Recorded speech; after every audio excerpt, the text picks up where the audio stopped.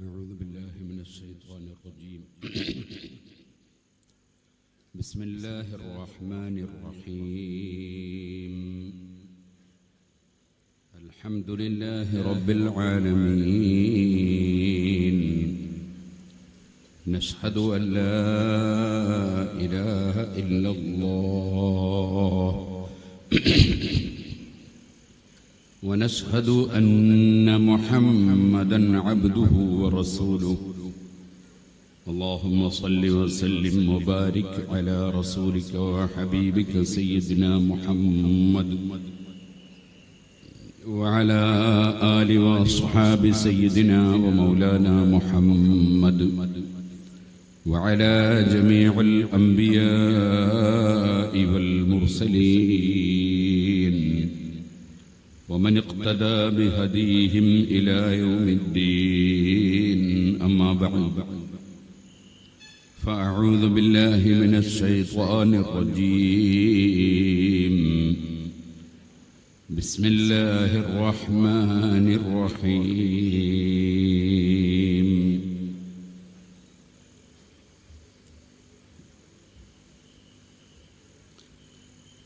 يا أيها الذين آمنوا اتقوا الله وقولوا قولا سديدا.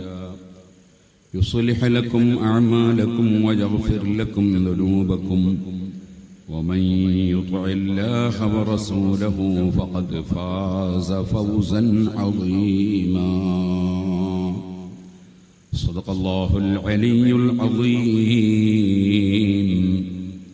صدق وبلغ رسوله النبي الكريم. ونحن على ذلك من الشاهدين الشاكرين.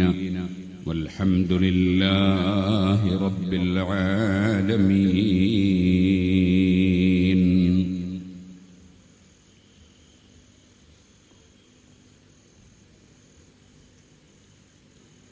يا رب صل على من حل بالحرم طه الرسول الذي قد خص بالكرم. يا رب بالمصطفى بلغ مقاصدنا. واغفر لنا ما مضى يا واسع الكرم.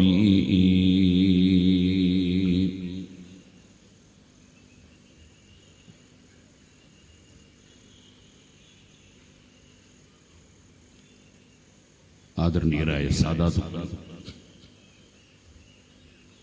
പണ്ഡിതന്മാർ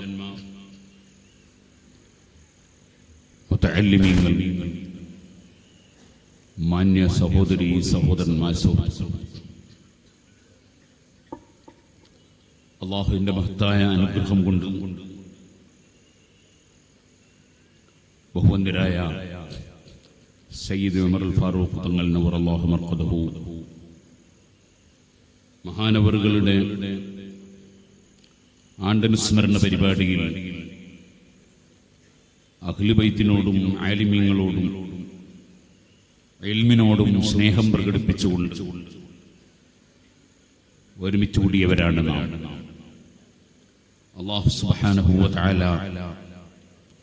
നമ്മുടെ എല്ലാ പ്രവർത്തനങ്ങളും അള്ളാഹു പൊരുത്തപ്പെട്ട സ്വാലിഹായ അമലായി നമ്മിൽ നിന്ന് സ്വീകരിക്കുമാറാണ് നമ്മുടെ ഈ മജിലിസും നമ്മുടെ എല്ലാ മജിലിസുകളും അള്ളാഹു സുബാനഹുവല കബൂൽ ചെയ്യുന്ന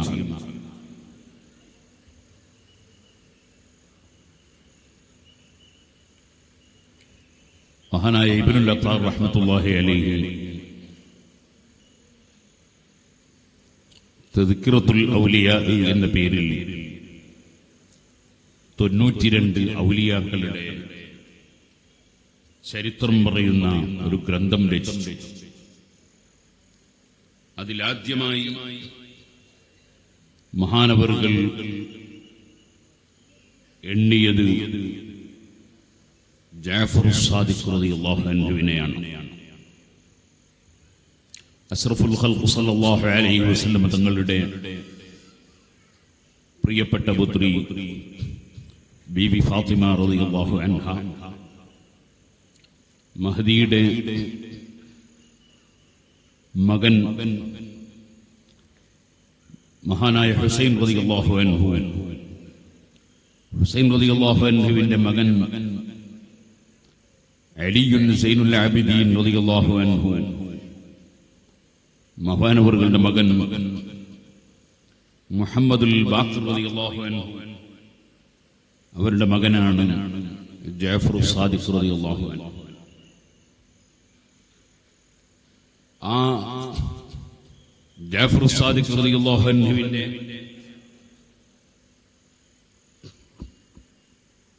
ചരിത്രം പറഞ്ഞുകൊണ്ട് തുടങ്ങാനുള്ള കാരണം അഷ്റഫുൽ ഖൽഖു സല്ലല്ലാഹു അലൈഹി വസല്ലം തങ്ങളുടെ കുടുംബത്തെ കൊണ്ട് ആരംഭിക്കുക എന്നതിനു വേണ്ടിയാണ്. ഖദ്ദിമു ഖുറൈശൻ ഖുറൈശികളെ നിങ്ങൾ മുന്തിക്കണം എന്ന് നബി സല്ലല്ലാഹു അലൈഹി വസല്ലം പറഞ്ഞിട്ടുണ്ട്. അഹ്ലു ബൈത്ത് മുഴുവനും ഖുറൈശി തറവാട്ടുകാരാണ്. ഖുറൈശികൾ ഏറ്റവും മഹത്വമേറിയ തറവാടുകാരാണ്. അഷ്റഫുൽ ഖൽഖ് സല്ലല്ലാഹു അലൈഹി വസല്ലം തങ്ങളുടെ സന്താന പരമ്പരകളിൽപ്പെട്ട ജാഫർ സാദിഖ് റളിയല്ലാഹു അൻഹു മഹാനവറുകളുടെ ചരിത്രം പറയുമ്പോൾ തുടക്കത്തിൽ തന്നെ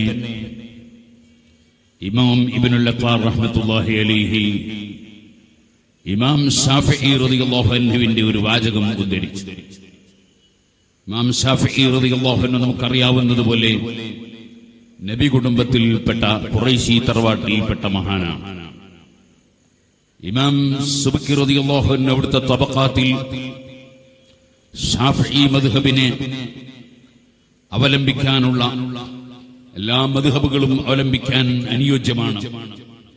ഷാഫി മധുഹബിനെ അവലംബിക്കാനുള്ള നിമിത്തങ്ങൾ എണ്ണുമ്പോൾ അതിലൊന്ന് എണ്ണിയത് കദ്ദിമോ കുറൈശൻ കുറൈശികളെ ബന്ധിക്കുക എന്ന് പറഞ്ഞിട്ടുണ്ട് എന്നതാണ്.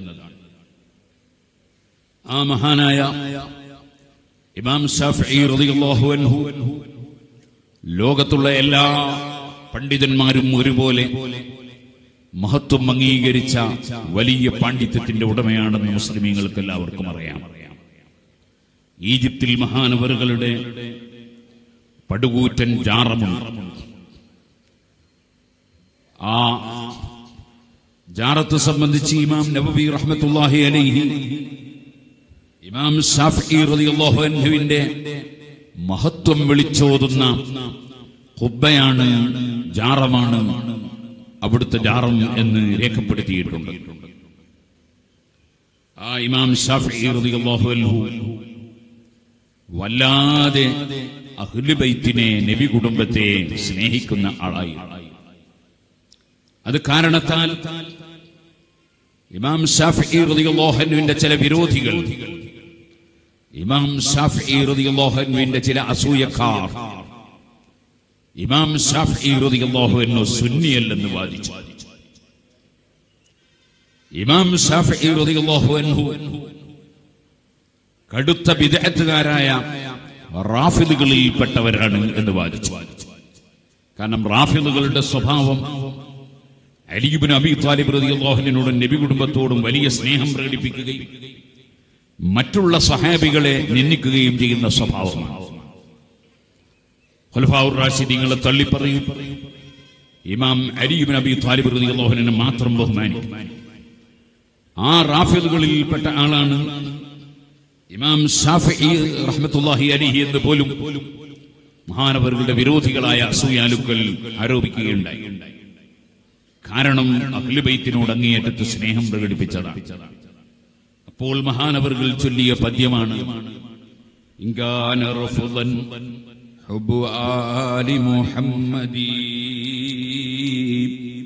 فليشهد الثقلان أني رافضي നബി കുടുംബത്തെ സ്നേഹിക്കുക എന്നത് റഫുദാണെങ്കിൽ റാഫിദി ആശയമാണെങ്കിൽ എല്ലാവരും ഒരുപോലെ സാക്ഷി നിന്നോളൂ ഞാൻ ഒരു റാഫിദിയാണ് എന്ന് പറഞ്ഞാൽ അതിനർത്ഥം ഞാൻ റാഫിദിയാണെന്നല്ല റാഫിലിയാണെന്ന ആരോപണം ഉന്നയിച്ചതുകൊണ്ട് ഞാൻ നബി കുടുംബത്തോടുള്ള സ്നേഹം ഒരു അണുമണി തൂക്കവും കുറക്കുകയില്ല എന്നാണ് അതിന്റെ അർത്ഥം. അല്ലാതെ റാഫിലത്തിനെ ഇമാം ഷാഫി അംഗീകരിക്കുന്നു എന്നാരും തെറ്റിദ്ധരിക്കരുത്. റാഫിലത്ത് ബഹുമാനപ്പെട്ട ഉമർ ഖത്താബ് റളിയല്ലാഹു അൻഹുവിനെയും ഉസ്മാൻ ഇബ്നു അഫ്ഫാൻ റളിയല്ലാഹു അൻഹുവിനെയും സിദ്ദീഖുൽ അക്ബർ റളിയല്ലാഹു അൻഹുവിനെയും ഒക്കെ ആക്ഷേപിച്ച് സംസാരിക്കുന്ന കക്ഷികളാണ്. അവരെ ഒരിക്കലും ഒരു മുസ്ലിം അംഗീകരിക്കുകയില്ല. റാഫിലത്തിന്റെ വിശ്വാസമാണ് ഇന്നത്തെ പുത്തനാശയക്കാരായ ആളുകൾ പ്രചരിപ്പിക്കുന്ന പടച്ചവന് കയ്യും കാലുമുണ്ടെന്ന വിശ്വാസം. റാഫിലത്തിന്റെ വിശ്വാസമാണ് പടച്ചവൻ ഒരു കസേരയിൽ ഒരു സിംഹാസനത്തിൽ ഇരിക്കുന്നു എന്ന വിശ്വാസം. റാഫിലത്തിന്റെ വിശ്വാസമാണ് അള്ളാഹുവിനോട് അനുയോജ്യമല്ലാത്ത വിധം ഇന്നത്തെ പുത്തനാശയക്കാർ പഠിപ്പിക്കുന്ന എല്ലാ ആശയങ്ങളും. എത്രത്തോളം എന്ന് പറഞ്ഞാൽ പുത്തനാശയക്കാർക്ക് നല്ല കാര്യങ്ങളൊന്നും പുതുതായി സംഘടിപ്പിക്കാൻ പാടില്ലെന്ന ആശയം അതുകൊണ്ടാണ് അവർ മഹാനായ സയ്യിദുന അബൂബക്കർ പിഴച്ച ആളാണെന്ന് പറഞ്ഞു. അവർ പറയാൻ കാരണം നബി സല്ലല്ലാഹു അലൈഹി വസല്ലം തങ്ങൾ ഖുർആൻ ആദ്യം മുതൽ അവസാനം വരെ ഒരു ചട്ടയുടെ ഉള്ളിലായി ഒന്നിച്ച് എഴുതി വെച്ചിട്ടില്ല. അത് ഈ ദീനിലില്ലാത്ത ഒരു കാര്യം അബൂബക്കർ ചെയ്തുണ്ടാക്കിയതാ. അതുകൊണ്ട് അബൂബക്കർ പിഴച്ചുപോയി എന്നവർ വാദിച്ചു. മഹാനായ ഉമർ ഖത്താബ് റളിയല്ലാഹുവിനെ സംബന്ധിച്ച് ഇസ്ലാമിൽ ഇല്ലാത്ത ഒരു പുതിയ നിസ്കാരം കൊണ്ടുവന്ന ആളാണ്. അതാണ് തറാവി നിസ്കാരം. തറാവി നിസ്കാരം എന്നൊരു പുതിയ ഒരു പ്രത്യേക നിസ്കാരം ഇല്ല. മിത്ര നിസ്കാരമുണ്ട് ഇഷായിന്റെ സുന്നത്തുണ്ട്. തറാവി എന്നൊരു പ്രത്യേക ഒരു നിസ്കാരമില്ല. തഹജ്ജുദ് ഉണ്ടാക്കുന്നുണ്ട് പക്ഷേ തറാവി ഇല്ല എന്ന് ഇന്നത്തെ പുത്തൻവാദികൾ വാദിക്കുന്ന അതേ വാദം അന്ന് റാഫിദുകൾ വാദിച്ചു. അതുകൊണ്ടാണ് അവരെ വളരെയേറെ മോശമാക്കി പണ്ഡിതന്മാർ രേഖപ്പെടുത്തിയതായി കാണാം. ഇരിക്കട്ടെ ആ റാഫിദത്ത്. എല്ലാവരെയും ആക്ഷേപിച്ചവരാ ഉസ്മാൻ ബിൻ അഫ്ഫാൻ റളിയല്ലാഹു അൻഹു അവർ ആക്ഷേപിച്ചു തുടങ്ങി. ആ ആക്ഷേപം പലരും ആക്ഷേപത്തിൽ കുടുങ്ങി ചിലർ വളരെ മോശമായി. അങ്ങനെ ഉസ്മാൻ റളിയല്ലാഹു അൻഹു യഹൂദിയാണെന്ന് വരെ ചിലർ വാദിച്ചു പിഴച്ചുപോയാൽ അങ്ങനെയാണ്. പിഴച്ചുപോയാൽ അള്ളാഹുവിന്റെ ദീനിന്റെ നിലനിൽപ്പിന് വേണ്ടി അധ്വാനിക്കുകയും പ്രവർത്തിക്കുകയും അതിനുവേണ്ടി ജീവൻ അർപ്പിക്കുകയും ചെയ്ത മഹാന്മാരെ അവരുടെ പേരിൽ ഏത് ആരോപണവും ഉന്നയിക്കുന്നതിനൊരു മടിയും പിഴച്ചു പോയാൽ ഉണ്ടാവുകയില്ല. അങ്ങനെയാണ് ഉസ്മാൻ യഹൂദിയാണെന്ന് ഒരാൾ വാദിച്ചു. അബൂ ഹനീഫ അൻഹുവിന്റെ ജീവിതകാലത്തായി. അബൂ ഹനീഫ അൻഹു അദ്ദേഹം അങ്ങനെ വാദിച്ചപ്പോൾ ഒരു ദിവസം അദ്ദേഹത്തെ പോയി കണ്ടു. പണ്ഡിതന്മാരാണ് ദീൻ ഇവിടെ പ്രചരിപ്പിക്കുന്നതും ദീൻ ഇവിടെ നിലനിർത്തുന്നതും ദീനിലുള്ള തെറ്റിദ്ധാരണകൾ അകറ്റി സത്യത്തിൽ ജനങ്ങളെ നിലനിർത്തുന്നതും ആലിമീങ്ങളാണ് കാരണം അവരാണ് അമ്പിയാക്കളുടെ അവകാശികൾ. അവരുടെ ഡ്യൂട്ടിയാണ് ദീനിനെ സംബന്ധിച്ചുള്ള എല്ലാ ആക്ഷേപങ്ങളും തെറ്റിദ്ധാരണകളും തിരുത്തി ദീൻ നിലയ്ക്ക് ഇവിടെ നിലനിർത്തിക്കൊണ്ടു പോവുകയും ആ ദീൻ ജീവിതത്തിൽ പകർത്തി മറ്റുള്ളവർക്ക് മാതൃകയായി ജീവിക്കുകയും ചെയ്യുക എന്നത് പണ്ഡിതന്മാരുടെ കടപ്പാടാണ് അവർ വറസത്തുൽ അംബിയ. ഇമാം അൻഹു ഈ തെറ്റായ വാദം ഉന്നയിക്കുന്ന മനുഷ്യൻ ജൂതനായിരുന്നു എന്നുവരെ ആശയമുന്നയിക്കുന്ന മനുഷ്യനെ സമീപിച്ചു. മഹാനായ അബു ഹനീഫ റളിയല്ലാഹു അൻഹു പറഞ്ഞു നിങ്ങളുടെ മകൾക്ക് ഞാനൊരു നല്ല വരനെ കണ്ടിട്ടുണ്ട് അബൂഹലി പ്രതി മോഹൻ പറഞ്ഞതാ നിങ്ങളുടെ മകൾക്ക് ഞാൻ നല്ലൊരു വരനെ കണ്ടിട്ടുണ്ട്. ആരാണ് ചോദിച്ചു. അത് എന്റെ അടുത്ത് അന്വേഷണം കൊണ്ട് ഇങ്ങോട്ട് വന്നതാണ്. ആരാണ് ചോദിച്ചു. അതെന്റെ തൊട്ടടുത്ത വീട്ടിലുള്ള ഒരു യഹൂദിയാണ്. തൊട്ടടുത്ത വീട്ടിലുള്ള ഒരു യഹൂദി അദ്ദേഹത്തിന്റെ മകന് നിങ്ങളുടെ മകളെ അന്വേഷിക്കുന്നുണ്ട്. ഇയാൾക്ക് ഇങ്ങോട്ട് ചൂടായി. ഇയാൾ ചൂടായിട്ട് ഒരു മുസ്ലിമായ പെൺകുട്ടിയെ യഹൂദിക്ക് കല്യാണം കഴിച്ചു കൊടുക്കാൻ പറ്റുമോ? അങ്ങനെ ഒരു യഹൂദിയെ എങ്ങനെ അന്വേഷിക്കുക? അങ്ങനെ സംഭവിക്കും എന്നൊക്കെ പറഞ്ഞ് ഇയാൾ ഇങ്ങോട്ട് ചൂടായി. അപ്പൊ അബൂ ഹനീഫ് ചൂടാവൊന്നും വേണ്ട. ഏ? ഉസ്മാൻ റതി അള്ളാഹുനുവിന് മകളെ കെട്ടിച്ചു കൊടുത്തത് ആരാണ്? ഉസ്മാൻ റതി അള്ളാഹുനുവിന് മകളെ കെട്ടിച്ചു കൊടുത്തത് ആരാണ്? സയ്യിദുനാ മുഹമ്മദ് റസൂലുള്ളാഹി. അത് ഒരു മകളെയാണോ? അല്ല രണ്ട് മകളെ. അങ്ങനെ രണ്ട് മകളെ. ഒരു മകൾക്ക് ശേഷം മറ്റൊരു മകളെ. അങ്ങനെ രണ്ട് മകളെ നബി സല്ലല്ലാഹു അലൈഹി വസല്ലം വിവാഹം ചെയ്തു കൊടുത്ത ഉസ്മാൻ ഇബ്നു അഫ്ഫാൻ റളിയല്ലാഹു അൻഹു. ജൂതനാണെന്നല്ലേ നിങ്ങളെ വാദം. അപ്പൊ പിന്നെ നിങ്ങളെ നിങ്ങളുടെ മകന് നിങ്ങളുടെ മകന് ഒരു നിങ്ങളുടെ മകൾക്ക് ഒരു ജൂതന്റെ മകൻ അനുയോജ്യമല്ലേ എന്ന് ചോദിച്ചു. നബിതങ്ങൾക്ക് പറ്റുമെങ്കിൽ നിങ്ങൾക്ക് പറ്റൂലേ എന്നാ ചോദ്യം. സുഹാനുള്ള അപ്പോഴാണ് ആ മനുഷ്യൻ എന്റെ വാദത്തിന്റെ അപകടം എത്ര വലുതാണ്. എത്ര വലിയ അപകടം പിടിച്ച വാദമാണ് ഞാൻ വാദിച്ചത്. മഹാനായ നബി സല്ലല്ലാഹു അലൈഹി വസല്ലമ തങ്ങൾ അവിടുത്തെ രണ്ട് പെൺകുട്ടികൾക്ക് വിവാഹത്തിന് തെരഞ്ഞെടുത്ത ഉസ്മാൻ ഇബ്നു റളിയല്ലാഹു ജൂതനാണെന്ന് ഞാൻ വാദിച്ചാൽ എന്റെ എതിരിലല്ലാതെ ഹബീബായ നിബിതങ്ങൾ ഉണ്ടാകുമോ അതേ നിമിഷത്തിൽ അദ്ദേഹം തൗപ ചെയ്യുന്നു. അദ്ദേഹം സുന്നത്ത് ഉൾക്കൊള്ളുന്നു. സുഹൃത്തുക്കളെ പണ്ഡിതന്മാരുടെ പ്രവർത്തനമാണ് പണ്ഡിതന്മാരുടെ വാക്കുകളാണ്. പണ്ഡിതന്മാരുടെ ത്യാഗമാണ്. പണ്ഡിതന്മാരുടെ സേവനങ്ങളാണ്. ലോകത്ത് ഇസ്ലാമിനെ തെറ്റിദ്ധരിക്കുന്നവർക്ക് ഇസ്ലാമിനെ ശരിയായ രൂപത്തിൽ ബോധ്യപ്പെടുത്തി കൊടുക്കാൻ ആദ്യ നൂറ്റാണ്ടുകൾ മുതൽക്ക് ഇന്നേ വരെ കാരണമായിട്ടുള്ളത്. അതുകൊണ്ടാണ് മുസ്ലിം ഉമ്മത്ത് ഈമാനുള്ളവരാണോ? എങ്കിൽ അവർ ഉലമായിനെ ആദരിക്കുന്നു അഖിലുബൈത്തിനെ സ്നേഹിക്കുന്നു ആദരിക്കുന്നു. ഒരിക്കലും ഒരു ആലിമിന്റെ മനസ്സിൽ ശരിയായ ആലിമാണെങ്കിൽ ഞാനൊരു പണ്ഡിതനാണെന്ന ഹുങ്കുണ്ടാവൂല മറിച്ച് പടച്ച റബ്ബേ അറിവുള്ളതോടുകൂടി എന്നിൽ പല അബദ്ധങ്ങളും വന്നിട്ടുണ്ടല്ലോ. എന്റെ സ്വന്തം ജീവിതത്തിൽ പല തെറ്റുകളും വന്നിട്ടുണ്ടല്ലോ. അതിന് നീ എന്നെ ശിക്ഷിക്കുമോ? എന്ന ഭയത്തിലായിരിക്കും പണ്ഡിതന്മാർ. ഇതേപോലെ സയ്യിദന്മാർ അള്ളാഹുവിന് തക്വ ചെയ്ത് ജീവിക്കുന്ന സയ്യിദന്മാർ. അവരും എപ്പോഴും ഞാൻ ഉപ്പാപ്പയുടെ മുന്നിൽ കുടുങ്ങിപ്പോകുമോ എന്ന ഭയത്തിലായിരിക്കും. അതുകൊണ്ടല്ലേ സുഹൃത്തുക്കളെ ഇമാം അബൂ ഹനീഫ റളിയല്ലാഹു അൻഹു വലിയ പണ്ഡിതനാണ് വലിയ മഹാനാണ്. ആ അബൂഹനീഫ തങ്ങൾ ഇങ്ങനെ പോകുന്ന സമയത്ത് ഒരാൾ പറയുന്നു കണ്ടോ പോകുന്നത് ആരാണ്? അബൂഹനീഫയാണത് രാത്രി മുഴുവനും എഴുന്നേറ്റ് നിന്ന് സുന്നത്ത് സംസ്കരിക്കുന്ന ആളാണ്. എന്ന് പുകഴ്ത്തി പറയുമ്പോൾ അബൂ ഹനീഫ റളിയല്ലാഹു അൻഹു നടുങ്ങിപ്പോകുന്നു. അവിടുന്ന് രാത്രി മുഴുവനും സുന്നത്ത് സംസ്കരിക്കാറില്ല കുറഞ്ഞ സമയം ഉറങ്ങാറുണ്ട്. രാത്രിയുടെ പകുതി സമയം സുന്നത്ത് സംസ്കാരത്തിൽ ചെലവഴിക്കാറുണ്ട്. ഒരു പകുതി സമയം വിശ്രമിക്കാറുമുണ്ട്. അങ്ങനെയാണ് പതിവ്. മഹാനവറുകൾ അത് കേട്ടപ്പോൾ നടുങ്ങിപ്പോകുന്നു. പടച്ചറപ്പിനോട് പറയുന്നു അല്ലാ എനിക്കില്ലാത്ത മഹത്വം അതാ വിളിച്ചു പറയുന്നു. അതിന്റെ പേരിൽ നീ എന്നെ ശിക്ഷിക്കരുതേ അല്ലാ. ശരിയായ ആലിമീങ്ങൾ അങ്ങനെ. അവർക്ക് എപ്പോഴും അവരുടെ ആഹ്ലത്തിന്റെ വിഷയത്തിലുള്ള പേടിയാണ് ഇതുകൊണ്ടായിരുന്നു ബഹുമാനപ്പെട്ട മഹാനായ സയ്യിദായ ജാഫർ സാദിഖ് റളിയല്ലാഹു അൻഹുവിനെ സമീപിക്കുന്നു. നേരത്തെ നമ്മൾ പറഞ്ഞല്ലോ ജാഫർ സാദിഖ് റളിയല്ലാഹു അൻഹുവിനെ കുറിച്ച്.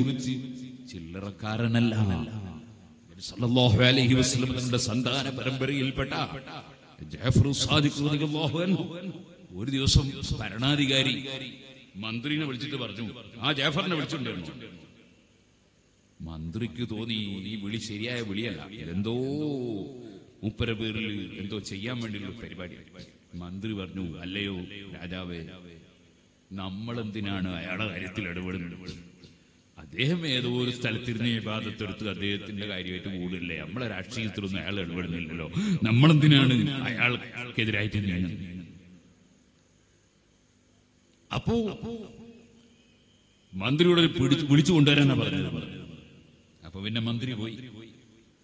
ജാഫർ സാദിഖ് മോഹനെ വിളിക്കാൻ പോയപ്പോ കൊട്ടാരത്തിലുള്ള പരിചാരകന്മാരോടും അടിമകളോടൊക്കെ രാജാവ് പറഞ്ഞു ഞാൻ എന്റെ തലയെക്കിട്ട് അല്ലെങ്കിൽ കിരീടം ഞാനൊന്ന് നന്നാക്കാൻ വേണ്ടി ഒന്ന് പൊക്കാൻ വേണ്ടി ശ്രമിക്കുമ്പോ നിങ്ങൾ ജാഫറിനെ വെട്ടിക്കൊള്ളണോ.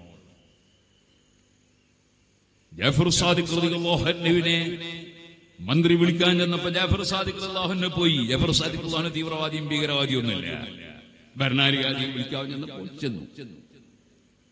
ചെന്നങ്ങ് കയറുമ്പോ നല്ല ജോറായിട്ട് കസേരയുമേലിരിക്കുന്ന രാജാവ് കയറി വരുന്നത് കണ്ടപ്പോ നേരെ എഴുന്നേറ്റ് ചെന്ന് ജാഫർ കൈ പിടിച്ച് ചുംബിച്ചു.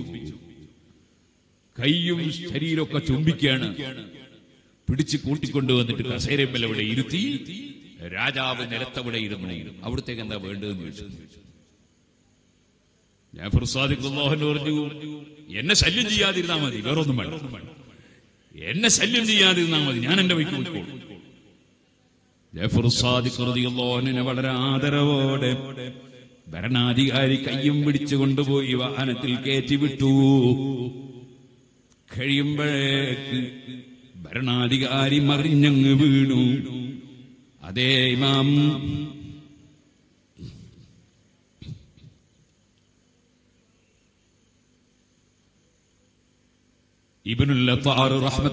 അലൈഹി രേഖപ്പെടുത്തുന്നു. മൂന്ന് നിസ്കാരത്തിന്റെ സമയം അല്ലെങ്കിൽ മൂന്ന് ദിവസം രണ്ട് റിപ്പോർട്ടുണ്ട്. രാജാവിന് ബോധമില്ല.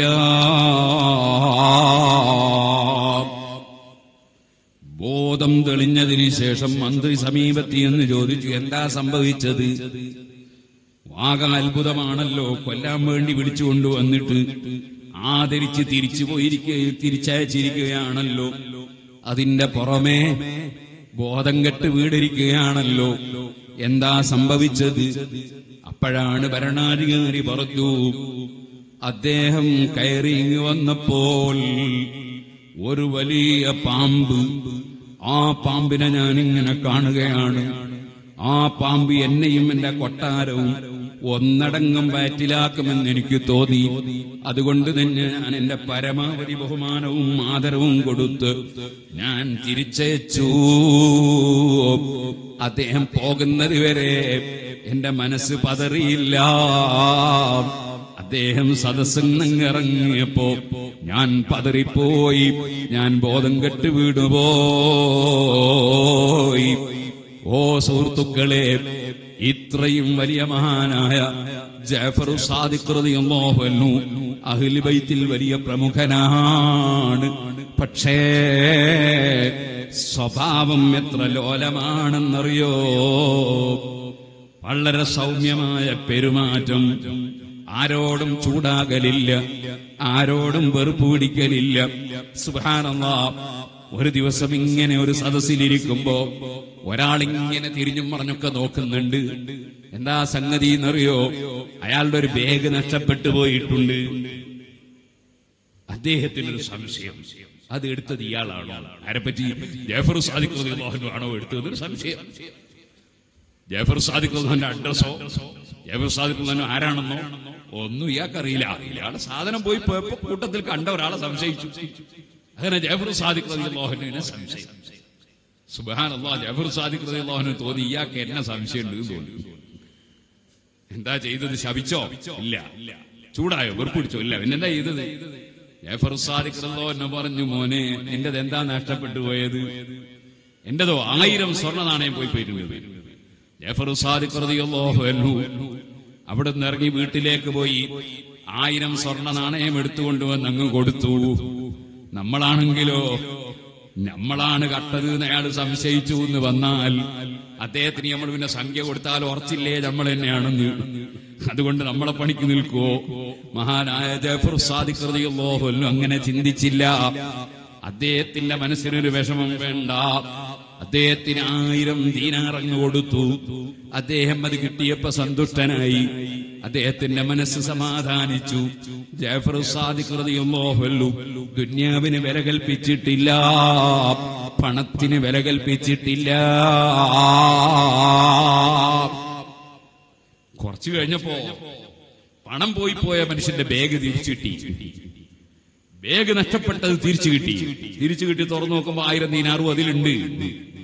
ഇയാൾ സങ്കടത്തോടെ വന്നു. ജഫർ സാദിഖ് റളിയല്ലാഹുവിന് അദ്ദേഹത്തിന് അപ്പോഴും പരിചയമില്ല. വന്നിട്ട് പറഞ്ഞു നിങ്ങൾ ആയിരം ദീനാർ നിങ്ങൾ തിരിച്ചു വാങ്ങണം. എന്റെ സ്വർണ നാണയവും വേഗം തിരിച്ചു കിട്ടിയിട്ടുണ്ട്. ജാഫർ സാദിഖ് റളിയല്ലാഹു പറഞ്ഞു മോനെ ഞാൻ കൊടുത്തത് തിരിച്ചു വാങ്ങാറില്ല. ഏറ്റവും വലിയ തറവാടിത്തമാണത്. ഏറ്റവും വലിയ തറവാടിത്തമാണത്. കുറേശി തറവാടാണ്. നബി കുടുംബമാണ്. ഏറ്റവും വലിയ തറവാടിത്തമാണത്. കൊടുത്തത് ഞാൻ തിരിച്ചു വാങ്ങുന്ന പതിവില്ല. ഇത്ര നല്ല സ്വഭാവക്കാരനായ ജാഫർ സാദിഖ് സമീപത്ത് വരുന്നു ദാവൂദ് അന്നത്തെ കാലത്ത് വലിയ വേദ പറയുന്ന പണ്ഡിതനാണ്. സമീപത്ത് വന്നിട്ട് വിളിക്കുകയാണ് യബിന റസൂലില്ല. അള്ളാഹുവിന്റെ റസൂലിന്റെ പൊന്നോമന മകനായവരെ.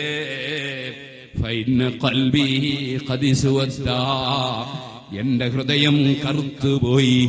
ഞാൻ വയത് പറയാറുണ്ട് ഞാൻ ഇൽമു പ്രചരിപ്പിക്കാറുണ്ട് അതിന്റെ പേരിൽ പലരും ആദരിക്കാറുണ്ട് ബഹുമാനിക്കാറുണ്ട്.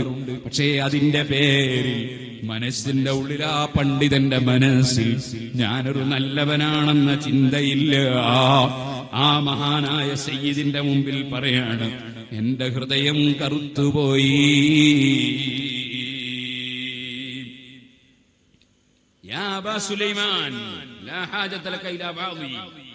ഓ അബൂ സുലൈമാൻ നിങ്ങൾ എന്നോട് പറഞ്ഞില്ലേ ഇനി എനിക്കൊരു വാത് പറഞ്ഞു തരണം.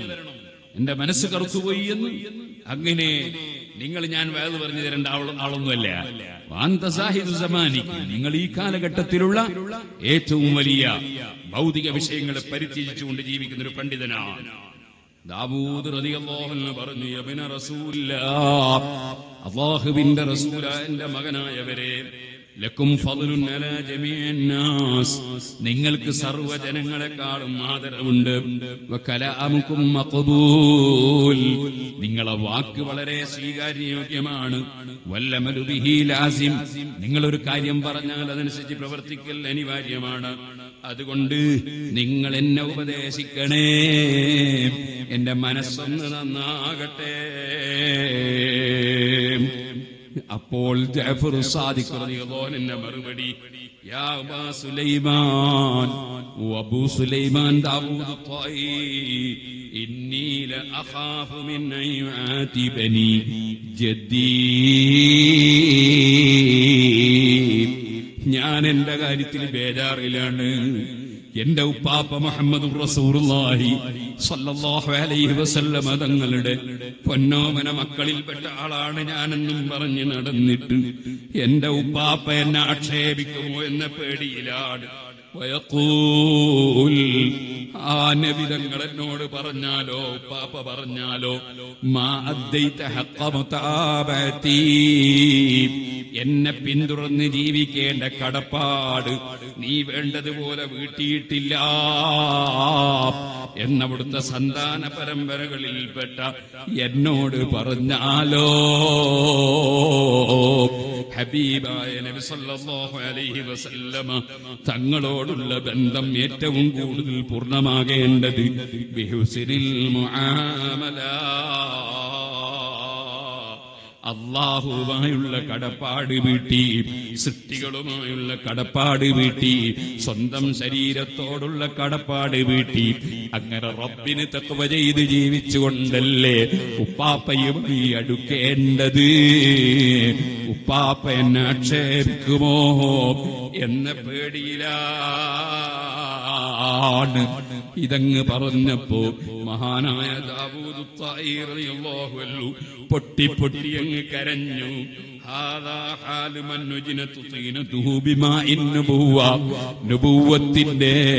അതേ നുപൂവത്തിന്റെ ബീജവുമായി ബന്ധപ്പെട്ടുകൊണ്ട് ജനിച്ച ഈ മഹാൻ ഇങ്ങനെയാണോ റബ്ബിന്റെ മുമ്പിലെത്തുന്ന സമയത്ത് ഭയപ്പെടുന്നതെങ്കിൽ എന്റെ കഥ എന്താണ്? അല്ലോ എന്ന് പറഞ്ഞുകൊണ്ട്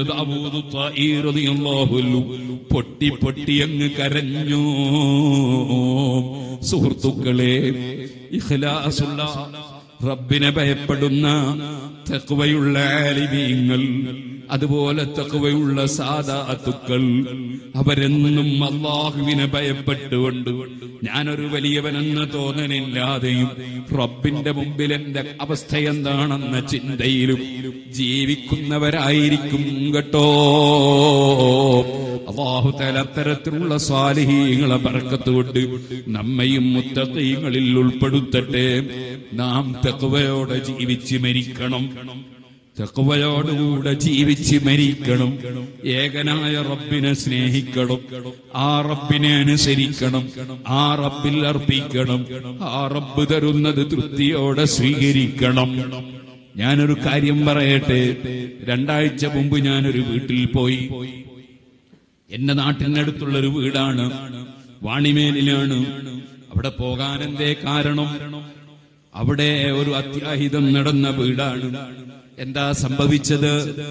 അവിടെയുള്ളൊരു സ്ത്രീ എന്താണ് കാരണമെന്ന് എനിക്കറിയില്ല ഒരു പക്ഷേ ഭർത്താവിനോട് ചെറിയ വെറുപ്പ് വന്നതായിരിക്കാം. ഭർത്താവിനോട് വല്ലതും പിണങ്ങിയതായിരിക്കാം. അല്ലെങ്കിൽ ഭർത്താവിന്റെ കുടുംബത്തോട് പിണങ്ങിയതായിരിക്കാം. കാരണം എനിക്കറിയില്ല ആ സ്ത്രീ എന്ത് ചെയ്തു എന്നറിയോ?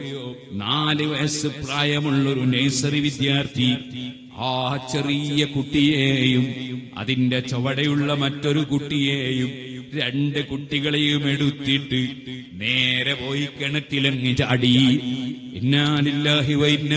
റാജിഊൻ.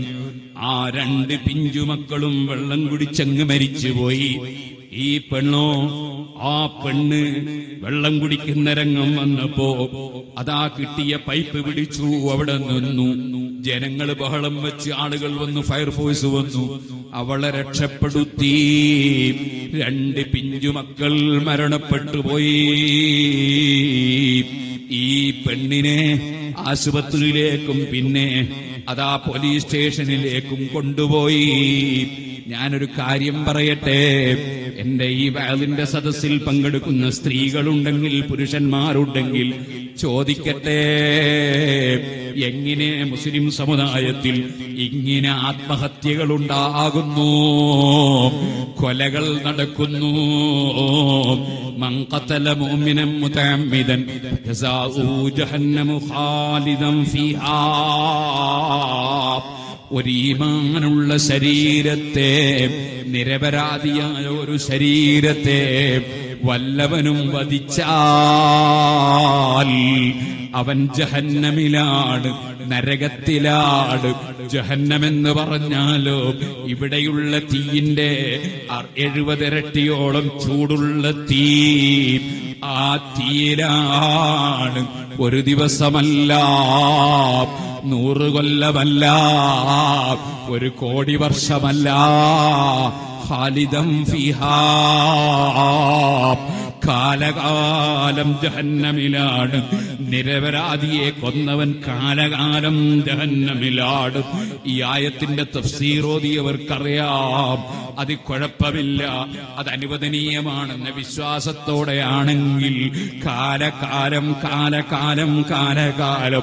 അതേ കോടി കോടി കോടി കോടി കോടി കോടി കോടി കോടി ഞാൻ എന്റെ മരണം വരെ ആവർത്തിച്ചു പറഞ്ഞാലും തീരാത്ത കാലം മുഴുവനും ഇവിടെയുള്ള തീയിന്റെ എഴുപതിരട്ടി ചൂടുള്ള ജഹന്നമിലാണ് ഇനിയത് പച്ച ഹറാമാണെന്നും തെറ്റാണെന്നുമൊക്കെയുള്ള വിശ്വാസത്തോടുകൂടി ആണ് ചെയ്തതെങ്കിലോ? എന്നാലും വളരെ വലിയ നീണ്ട കാലം റബ്ബിന്റെ മൗഫിറത്തില്ലെങ്കിൽ നരകത്തിൽ തന്നെ.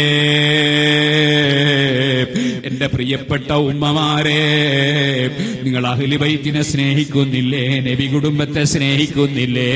നിങ്ങൾ തങ്ങന്മാരെ ദുആ പ്രതീക്ഷിക്കുന്നില്ലേ? നിങ്ങൾ ആലിമീങ്ങളെ ദുആ പ്രതീക്ഷിക്കുന്നില്ലേ? എങ്കിലും സർവ ആലിമീങ്ങളെങ്കിലും ഗുരുവര്യരാരാണ്. സർവ സയ്യിദന്മാരുടെയും ഉപ്പാപ്പയാരാണ്. അത് ആലമീൻ. മുഹമ്മദുർ റസൂലുള്ളാഹി സല്ലല്ലാഹു അലൈഹി വസല്ലമ തങ്ങളല്ലേ?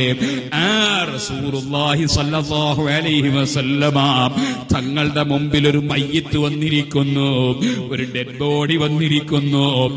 ആ മയ്യത്തിന് വേണ്ടി സാധാരണ നിലയ്ക്ക് മയ്യത്ത് കൊണ്ടുവന്നാൽ നബിതങ്ങൾ ഇമാമത്ത് നിന്നാണ് നിസ്കരിക്കാറുള്ളത്. അങ്ങനെ നിസ്കരിക്കാൻ മയ്യത്ത് കൊണ്ടുവന്നപ്പോ അത് ആത്മഹത്യ ചെയ്ത് മരിച്ച മയ്യത്താണെന്ന് നബിതങ്ങൾ അറിഞ്ഞപ്പോൾ അവിടുന്ന് മാറി നിൽക്കുന്നു. ഞാനാ മയ്യത്തിന് നിസ്കരിക്കുന്നില്ല. അവിടുന്ന് നിസ്കരിക്കാതെ മാറി നിൽക്കുന്നു. വീടാൻ വേണ്ടി നമ്മൾ ഹവാരിജല്ലോ ഹവാരിജ് എന്ന് മറ്റു പുത്തൻവാദികൾ ഉണ്ടായിരുന്നു സുന്നികളൊക്കെ മുശരിക്കുകളാണെന്ന് വാദിക്കുന്ന ഹവാരിജ് ആ ഹവാരിജിന്റെ വാദമാണ് വൻകുറ്റം ചെയ്താൽ ഇസ്ലാം എന്ന് പുറത്താണെന്ന വാദം. ആ വാദം നമുക്കില്ലല്ലോ. അതുകൊണ്ട് നബി സല്ലല്ലാഹു അലൈഹി വസല്ലം അദ്ദേഹത്തിന്റെ മയ്യത്ത് നിസ്കരിക്കാതെ മാറി നിന്നിട്ട് സഹാബികളോട് നിസ്കരിക്കാൻ പറയും ഫർൾ ഇഫ വീടാൻ അയാൾ മുസ്ലിം അല്ലെന്ന് വിധിക്കുന്നില്ല. അതുകൊണ്ടാണ് നമ്മളെ മൈതാനിയിൽ മറമാടുന്നത് അതുകൊണ്ടാണ് നമ്മൾ മയ്യത്ത് നിസ്കരിക്കുന്നത്. അതുകൊണ്ടാണ് നമ്മളെ മൈതാനിയിൽ കാഫർ എന്ന് വിധിക്കുന്നില്ലെന്ന് മാത്രം. അതേ സമയത്ത് അതിന് കുഴപ്പമില്ല തെറ്റില്ല എന്ന് വിശ്വസിച്ചുകൊണ്ടാണെങ്കിൽ അവൻ പച്ച കാഫറുമാണ് അവൻ കാലകാലം നരകത്തിലുമാണ്. എത്ര ഗൗരവമുള്ളതാണ്. പക്ഷേ ഇങ്ങോട്ട്, ഇങ്ങോട്ട്, ഇങ്ങോട്ട്. സുഹൃത്തുക്കളെ എത്ര ഗൗരവമുള്ളതാണ് ആത്മഹത്യയും മറ്റൊരാളെ കൊല്ലൽ. ചെറിയ വിഷയം. എന്തേ നമ്മുടെ സ്ത്രീകൾ ചിലർ ഇങ്ങനെ വിവരമില്ലാത്തവരായി പോകുന്നത്? ഇത്രയും വിവരമില്ലാതെയായി പോകുന്നത്? ചെറിയൊരു പ്രശ്നം വരുമ്പോഴേക്ക് ആത്മഹത്യ ചെയ്യാനൊരു സുബ്ഹാനല്ലാഹ് ഒരു ദിവസം ഞാനുമായി നല്ല ബന്ധമുള്ള ഒരു നല്ല മനുഷ്യൻ. അള്ളാഹു അദ്ദേഹത്തിന് ദീർഘായുസും ആഫിയത്തും തൗഫീഖും വർദ്ധിപ്പിച്ചു കൊടുക്കട്ടെ. അദ്ദേഹത്തിന്റെ കുടുംബത്തിനും അള്ളാഹു ഹൈർ ചെയ്യട്ടെ. വിവരക്കേട് വന്നു പോയ മകൾക്ക് അള്ളാഹു തല പുറത്തു കൊടുക്കട്ടെ. ഒരു ചെറിയ കുട്ടിയെയും എടുത്ത്. അങ്ങനെ തന്നെ ചെന്ന് ഒരു തീവണ്ടിയുടെ മുമ്പിൽ അങ്ങ് ചാടി ഒരു സ്ത്രീ. അവൾ അങ്ങനെ തന്നെ കഷ്ടമായി പോയി പക്ഷെ ഈ ചെറിയ കുട്ടിയുടെ ചെറിയ പിഞ്ചു കുട്ടിയുടെ രണ്ട് കാലും വണ്ടിക്ക് കുടുങ്ങി തെറിച്ചു പോയി കുട്ടി മരിച്ചില്ല. നിങ്ങളൊന്ന് ആലോചിച്ച് അതിന്റെ അവസ്ഥ എന്താണ്? ഞാൻ ആ വീട്ടിൽ പോയിട്ടുണ്ട്. എന്റെ സഹോദരിമാരോട് ഞാൻ പറയട്ടെ. എന്തെങ്കിലും ഒരു ചെറിയ പ്രശ്നത്തിന് ഭർത്താവുമായി ഒരു വാക്ക് തർക്കം നടന്നാൽ അല്ലെങ്കിൽ എന്തെങ്കിലും ഒരു ചെറിയ വിഷയം വരുമ്പോഴേക്ക് ഞാനങ്ങ് മരിക്കുക എന്ന് ചിന്തിക്കുന്നത് ഒരിക്കലും തന്നെ ആലോചിക്കാൻ പറ്റാത്ത ചിന്തയാണ്. മരിച്ചു കഴിഞ്ഞാൽ കബറിൽ ചെല്ലുന്നതോടുകൂടി നിന്നെ ബിരിയാണിയും വെച്ച് സൽക്കരിക്കാൻ കാത്തിരിക്കുന്നുണ്ടോ മലക്കുകൾ? എവിടുന്നാണ് ഈ ദുഷ്ട ചിന്ത വരുന്നത്? കബറിൽ ചെല്ലുന്നതോടുകൂടി സന്തോഷത്തോടെ നിന്നെ സൽക്കരിക്കാൻ പുതിയ ആപ്പിളിനെയും പുതിയ പെണ്ണിനെയും സൽക്കരിക്കാൻ നിൽക്കും പോലെ നീ ആത്മഹത്യയും ചെയ്തങ്ങ് ചെന്നാൽ കബറിൽ ചെല്ലുന്ന സമയത്ത് സൽക്കരിക്കാൻ നിൽക്കുകയാണോ ആൾക്കാർ? ഇങ്ങനെയാണ് ഈ ദുഷ്ടചിന്ത വിവരം കെട്ട സ്ത്രീകൾക്ക് വന്നു പോകുന്നത് ഒരിക്കലും എന്റെ സഹോദരിമാരെ സഹോദരന്മാരെ ഏത് പ്രശ്നം സംഭവിച്ചാലും അങ്ങനെ ഒരു ചിന്ത വന്നു പോകരുതേ. ഒരാളെ കൊല്ലുകയെന്ന ചിന്ത അത് സ്വന്തം ശരീരത്തെ ആയാലും വലിയ തെറ്റ് തന്നെ. തോപക്കവസരമില്ലാതെ മരിക്കുകയല്ലേ? ആക്തിപത്ത് നന്നായി മരിക്കലല്ലേ നമ്മുടെ ലക്ഷ്യം? എന്തിനാണ് നമ്മൾ ഈ സദസ്സിൽ വന്നത്? എന്തിനാണ് നമ്മൾ ആലിമീങ്ങളുടെയും മുത്തലിമീങ്ങളുടെയും അഖിലബൈത്തിന്റെയും സ്ഥാപനങ്ങളിലും സദസ്സുകളിലുമൊക്കെ പോകുന്നത്? എന്തിനാണ് നമ്മൾ ഇവിടെ വന്നത്? നമ്മുടെ പരമോന്നത ലക്ഷ്യം ആക്കിപത്ത് നന്നായി മരിക്കലല്ലേ? ആക്കിപത്ത് നന്നാകൽ എങ്ങനെയാണ്? അവസാനം നന്നാകലല്ലേ? നമ്മൾ നല്ല കാര്യങ്ങളൊക്കെ ചെയ്ത് അവസാനം ഏറ്റവും വലിയ വൻകുറ്റവും ചെയ്തുകൊണ്ടുള്ള ഒരു മരണമാണ് സംഭവിക്കുന്നതെങ്കിൽ അതിനേക്കാൾ വലിയൊരു മോശമാകലുണ്ടോ? പഠിച്ച റബ്ബേ ഞങ്ങളെയോ ഞങ്ങളുമായി ബന്ധപ്പെട്ടവരെയോ ആരെയും നീ ആ കൂട്ടത്തിൽ ഉൾപ്പെടുത്തരുതേ അല്ലാ. ഇനി ഒന്നുകൂടി ഞാൻ സൂചിപ്പിക്കട്ടെ.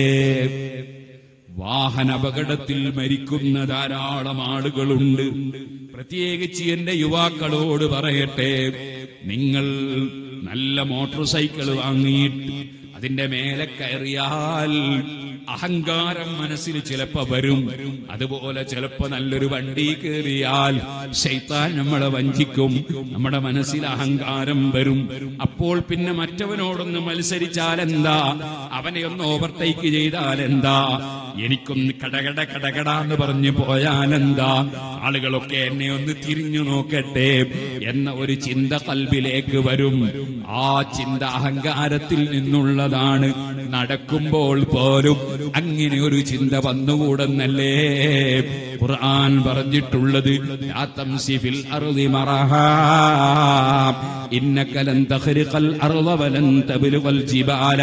ൂലാ Ah. നിനക്ക് ഭൂമി കീറാൻ കഴിയൂല. നീണ്ടിട്ട് നിനക്ക് പർവതത്തോളം നീളാനും കഴിയില്ല. പർവതത്തോളം നീളാൻ പോയിട്ട് സുബഹാനന്ദ ഈ കാണുന്ന ബൾബ് മാറ്റണമെങ്കിൽ തന്നെ കോണി വെക്കണ്ടേ നീ. എങ്കിൽ പിന്നെ നിന്റെ നീളത്തിന്റെ കാര്യം എന്ത് പറയാനാ? നിനക്ക് തിന്നാനുള്ള പഴം മൈസൂർ വാഴയുടെ മുൻമേലയുണ്ടെങ്കിൽ പഠിക്കാനെത്താതെ തുള്ളി നോക്കുന്നവനല്ലേ നീ. എങ്കിൽ പിന്നെ നിന്റെ കഥയെന്ത് പറയാനാ? അതുകൊണ്ട് നീ അഹങ്കരിച്ചുകൊണ്ട് തുള്ളിച്ചാടി നടക്കണ്ട എന്ന് ഖുർആൻ പറഞ്ഞെങ്കിൽ അപകടം പിടിച്ച വാഹനത്തിന്റെ മേലെ കയറി സഖറലനാ ഹാദാ വമാ കുന്നാ ലഹു മുഖ്രിനീൻ വഇന്നാ ഇലാ റബ്ബിനാ ഇത് എനിക്ക് പാകപ്പെടുത്തി തരുന്നത് റബ്ബാണെന്ന ചിന്തയോടെ ബിസ്മി ചൊല്ലി കാവലാക്കിയിട്ട് അള്ളാഹുവിന്റെ പരിശുദ്ധത വാഴ്ത്തിയിട്ട് അള്ളാഹുവിന്റെ മേൽ തവക്കുലാക്കി വാഹനം ഓടിക്കാൻ നിർദ്ദേശിക്കപ്പെട്ട മുസ്ലിം ചെറുപ്പക്കാരനായ നീ മോട്ടോർ സൈക്കിളിന്റെ മേലെ കയറിയിട്ട് ചടപടയാക്കിയിട്ട് അഹങ്കാരത്തിന്റെ പോക്ക് പോകുന്നുണ്ടോ ചെറുപ്പക്കാരാ? എങ്കിൽ നീ ആ പോക്കിലങ്ങ് മരണപ്പെട്ടു പോയാൽ നീയും ആത്മഹത്യയുടെ അതേ മാർഗത്തിലാണ് കേട്ടോ. ചിലപ്പോ പണ്ഡിതന്മാർ അപകടം പറ്റി മരിച്ച വീട്ടിൽ വന്നിട്ട് അപകടം പറ്റി മരിച്ചവർക്ക് ഷഹീദിന്റെ കൂലി കിട്ടുമെന്ന് പറയുന്നത് കേട്ടിട്ടുണ്ടെങ്കിൽ നീ തെറ്റിദ്ധരിക്കണ്ട. അത് അപകടത്തിൽ മരിച്ചവർക്കാണ് നീ അപകടം വലിച്ചു വരുത്തിയതാണ്. വിളിച്ചു വരുത്തിയതാണ്. നീ അപകടമുണ്ടാക്കിയതാണ്. നിനക്ക് ഷഹീദിന്റെ കൂലിയല്ല. ആത്മീയത്തിയുടെ തെറ്റ് വരാനാണ് കാരണമാകുന്നത്. റബ്ബ് കാക്കട്ടെ. അതുകൊണ്ട് ചെറുപ്പക്കാർ വാഹനം ഓടിക്കുമ്പോ നന്നായി ശ്രദ്ധിക്കണമെന്നുകൂടി ഈ സമയത്ത് ഉണർത്തുകയാണ്. സുഹൃത്തുക്കളെ ഞാൻ നീട്ടി സംസാരിക്കുന്നില്ല. ജലാലുഹു ഒരപകടത്തിലും പെടുത്താതെ നമ്മെ സംരക്ഷിക്കുമാറാകട്ടെ. നിങ്ങളെല്ലാം സലാത്തിയിൽ ദ്വാ ചെയ്യുമ്പോൾ ഉൾപ്പെടുത്തണം. എന്റെ അടുക്കൽ അഞ്ചെട്ട് കൊല്ലത്തോളം പഠിച്ച് മർക്കസിൽ പോയി സഖാഫി ബിരുദമെടുത്ത് അതിന്റെ ശേഷം കുറ്റിയാടി ദേവാ കോളേജിൽ ദർശനം നടത്തിക്കൊണ്ടിരിക്കുന്ന ചെറുപ്പക്കാരനായ അഫ്സൽ സഖാഫി വളെ അദ്ദേഹം ഇന്ന് രാവിലെ ഒരു അപകടത്തിൽപ്പെട്ടു അള്ളാഹു താല അദ്ദേഹത്തിന് പൂർണ സലാമത്ത് നൽകട്ടെ. ഇപ്പോൾ മെഡിക്കൽ കോളേജിൽ ഓപ്പറേഷൻ നടക്കുകയാണ്. അള്ളാഹുവെ ആ ചെറുപ്പക്കാരന് പരിപൂർണമായ ആഫിയത്ത് നൽകണം റഹ്മാൻ. എല്ലാ രോഗങ്ങളും സുഖപ്പെടുത്തി ആരോഗ്യത്തോടുകൂടെ അതിന്റെ ദീനന്റെ ഹിദമത്തിന് നീ എളുപ്പം ചെയ്യണം റഹ്മാനെ തൗഫീഖ് ചെയ്യണം റഹ്മാനെ. അതുപോലെ അപകടത്തിൽപ്പെട്ട ആര് എവിടെയുണ്ടോ എല്ലാവർക്കും നീ സലാമത്ത് നൽകണം റഹ്മാനെ. നാളെ ഓപ്പറേഷന് പോകുന്നവർ ഇവിടെ കയറി വരുമ്പോൾ ചെയ്യാൻ പറഞ്ഞവരുണ്ട്. ഞങ്ങളിൽ പലർക്കും ചില രോഗങ്ങളുണ്ട്. വലുതുണ്ട് ചെറുതുണ്ട് പലരുമുണ്ട്. അള്ളാഹുവേ ഏത് രോഗമുള്ളവർക്കും നീ സലാമത്ത് നൽകണേ റഹ്മാനെ. സിറാജുൽ ഹുദയുടെ തൊട്ടടുത്ത വീട്ടിലുള്ള ബഷീർ ഞാൻ കാസർഗോഡ് റെയിൽവേ സ്റ്റേഷനിൽ വന്നിറങ്ങിയപ്പോ അദ്ദേഹത്തിന്റെ ഫോണാണ് ചെറിയ പതിനൊന്ന് വയസ്സുള്ള ഒരു കുട്ടി. പെട്ടെന്ന് ഒരു ചെറിയ ഊനിന്റെ രോഗം. നാളെ ഓപ്പറേഷനാണ് ദ്വാ ചെയ്യണം എന്ന് പറഞ്ഞു. അള്ളാഹുവെ ആ കുട്ടിയുടെ രോഗം നീ സുഖപ്പെടുത്തണം റഹ്മാൻ. അതുപോലെ സിറാജുൽ ഹായിലേക്ക് നേർച്ചകളും സടക്കുകളും തന്നു. ഇന്ന് മലപ്പുറം ജില്ലയിൽ നിന്നും മറ്റ് പല സ്ഥലങ്ങളിൽ നിന്നും ദുആ ചെയ്യാൻ പറഞ്ഞവരുണ്ട്. അള്ളാഹുവേ ആര് നിന്റെ ദീനിന്റെ സ്ഥാപനങ്ങളെ സഹായിക്കുന്നവരുണ്ടോ?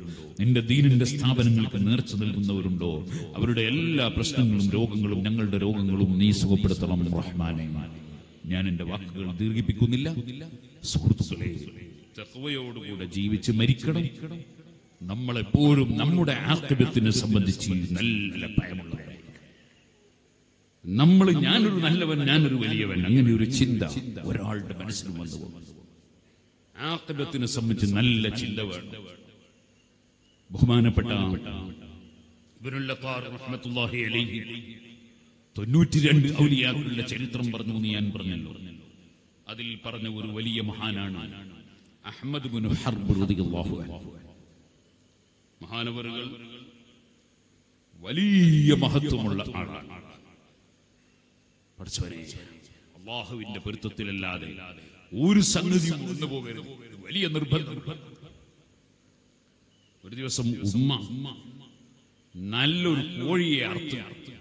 ചുട്ട് മകനായ അഹമ്മദ് മുൻ ഹർബ് അള്ളാഹുവിനെ കൊണ്ട് കൊടുത്തിട്ട് പറഞ്ഞു മോനെ നീ നന്നായിട്ട് കഴിച്ചോ? ഇത് ഞാൻ തന്നെ പോറ്റിയ കോഴിയാണ്. അതുകൊണ്ട് അതിലൊരു ഹറാമും വരൂല ഒരു സുബഹത്തും വരൂല.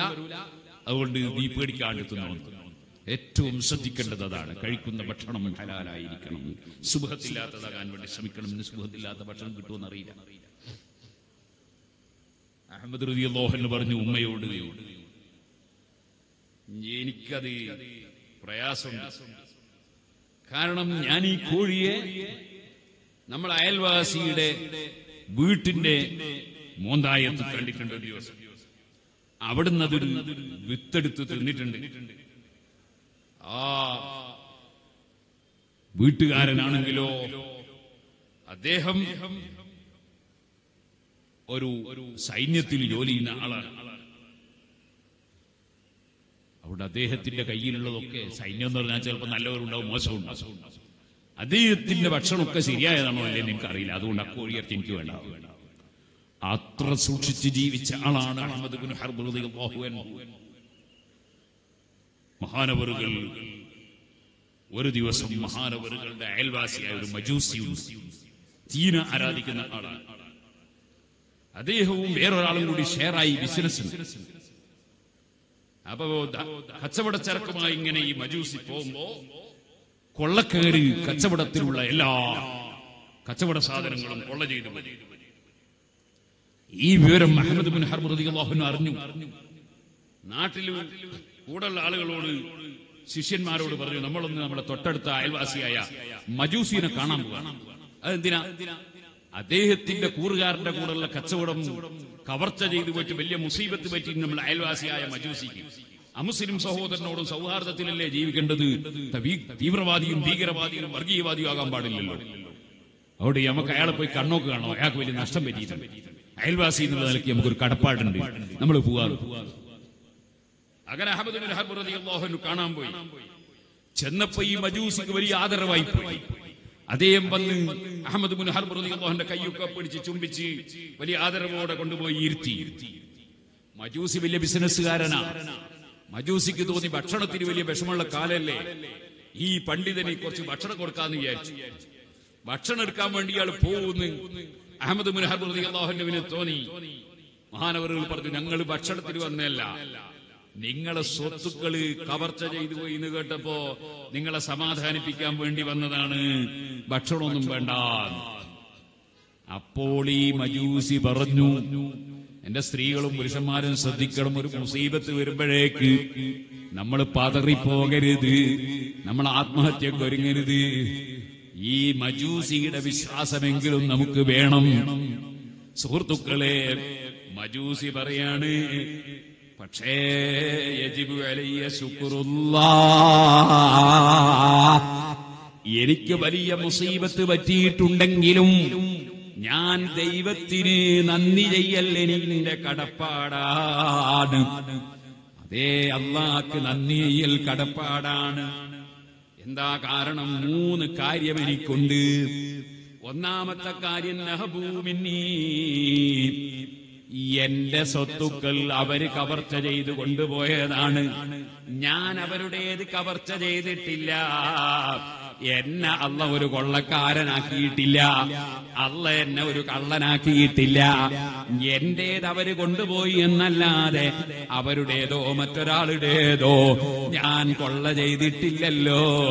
എനിക്ക് അല്ല അങ്ങനെ ഒരു വലിയ അനുഗ്രഹം ചെയ്തിട്ടുണ്ടല്ലോ. ഓ ബിസിനസ്സുകാരെ തൊഴിലാളികളെ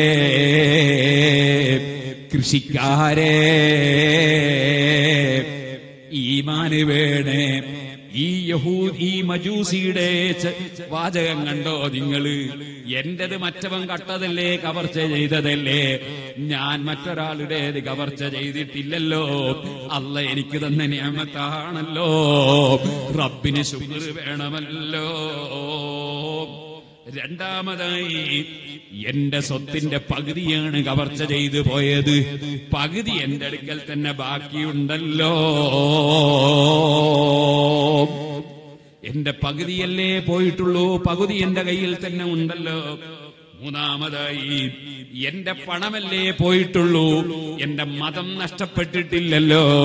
എന്റെ മതവിശ്വാസത്തിന് തകരാറ് പറ്റിയിട്ടില്ലല്ലോ. എന്റെ പണമല്ലേ പോയി പോയിട്ടുള്ളൂ. ഒരു വലിയ കച്ചവടത്തിലങ്ങ് പൊളിഞ്ഞു പോയാൽ കടത്തിൽ മുങ്ങിപ്പോയാൽ ആത്മഹത്യ ചെയ്ത് മരിക്കാമെന്ന് ചിന്തിക്കുന്ന ചില മുസ്ലിമീങ്ങളില്ലേ? സുഹാനല്ല അവരുടെ കഥ എന്താണ്? അവർ ദീനല്ലേ നശിപ്പിക്കുന്നത്? പണം പോയതിന് ദീന് നശിപ്പിക്കുകയോ? സുഹൃത്തുക്കളെ ഇത് കേട്ടപ്പോൾ മഹാനായ അഹമ്മദ് വല്ലാത്ത സന്തോഷം. അയാളെ പറഞ്ഞ വാക്കൊക്കെ കുറിച്ചെടുക്കും മക്കളെ. അയാൾ മജൂസിയാണെങ്കിലും തർക്കമില്ല അദ്ദേഹം പറഞ്ഞ വാക്കുകളൊക്കെ കുറിച്ചെടുക്കണം. അദ്ദേഹത്തിന്റെ വാക്കിൽ ഇസ്ലാമിന്റെ പരിമളമുണ്ട് ഒരു ഇസ്ലാമിന്റെ ആൾ പറയേണ്ട വർത്തമാനമാണ് അയാൾ പറയുന്നത് കുറിച്ചെടുക്കണം. അത് പറഞ്ഞത് കൊണ്ട് പറഞ്ഞിട്ട്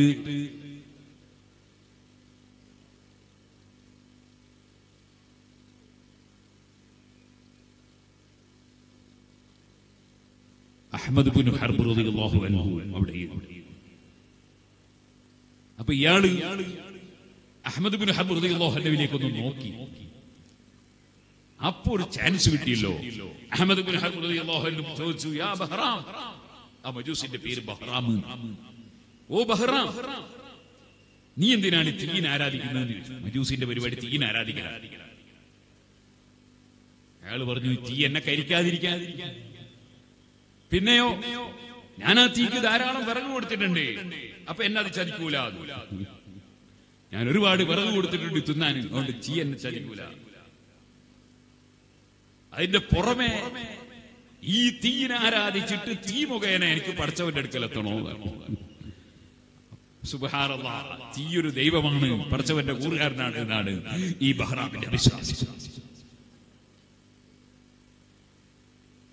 ബഹ്റാമിനോട് അഹമ്മദ് ബുൻ ഹർബ് തങ്ങൾ പറഞ്ഞു നീ വലിയ അബദ്ധം അബദ്ധത്തിൽ പെട്ടുപോയി ബഹ്റാമേ.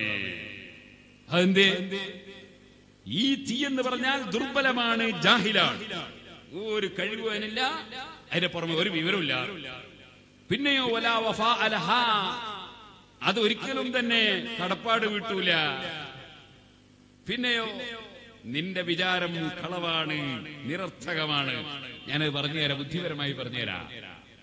അമ്മാ അതിന്റെ ദുർബലമാണ് ഞാൻ പറയാൻ കാരണം ഒരു ചെറിയ കുട്ടി ഒരു ബക്കറ്റ് വെള്ളം കൊണ്ടുവന്നിട്ട് അതിൽ ഒഴിച്ചാൽ പിന്നെ മൂപ്പരെ കാണൂല. അത്രയായൊരു ശക്തിയുള്ള ഒരു ചെറിയ കുട്ടി ഒരു ബക്കറ്റ് വെള്ളം കൊണ്ടുവന്ന് വെച്ചാൽ മതി. അപ്പോഴേക്ക് പിന്നെ അതിനെ കാണാൻ കിട്ടൂല.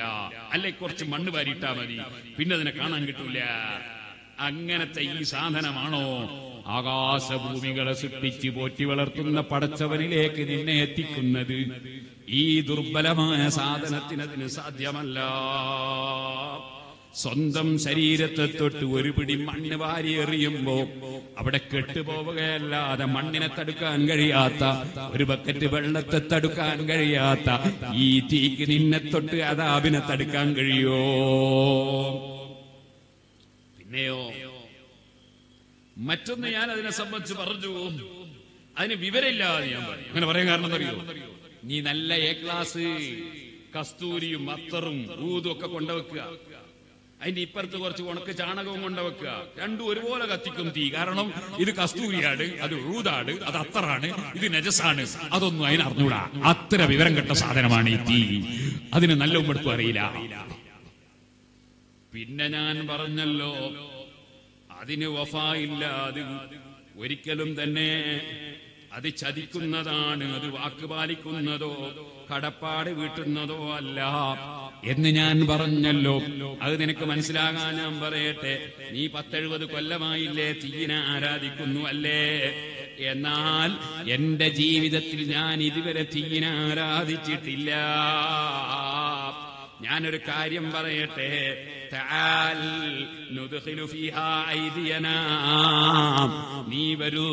നമ്മൾ രണ്ടാളും നമ്മളെ കൈയൊന്ന് തീയിൽ വെക്കുക. എന്റെ കൈ ഞാനും വെക്ക നിന്റെ കൈ നീയും വെക്കുക. എന്റെ നീ നിന്നോട് തീ അതാ നിന്നോട് വല്ല കടപ്പാടും വീട്ടുന്നുണ്ടോ എന്ന് നോക്കുക. ഞാൻ അതിനെ ഇന്ന് വരെ ആരാധിച്ചിട്ടില്ലല്ലോ. അങ്ങനത്തെ ഞാനും വെക്ക നീയും വെക്ക രണ്ടാളും കൈയൊന്ന് വെക്ക. നമ്മൾ ഏതാ കരിയുന്നതെന്ന് നോക്കുക അല്ലേ?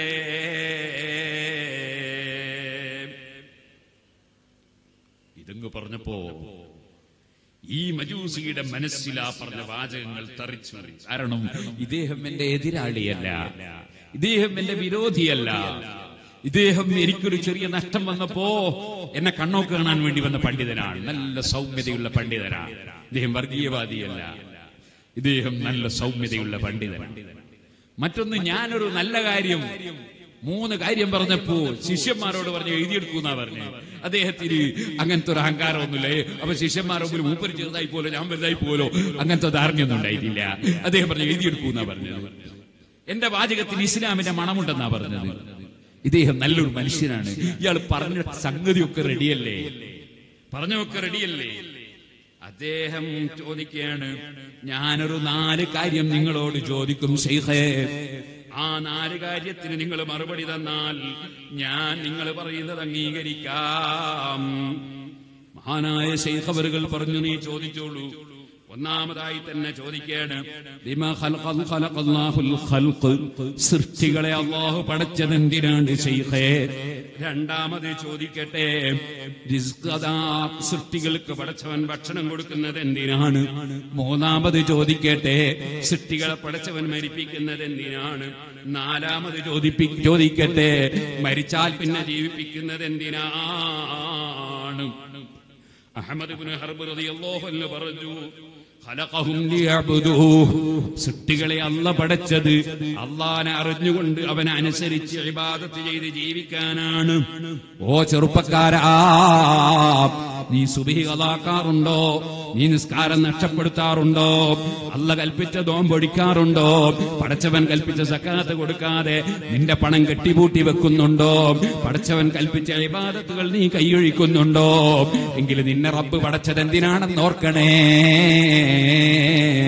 സ്വന്തം ബാപ്പായെയും ഉമ്മയെ നീ നിന്ദിക്കുന്നുണ്ടോ?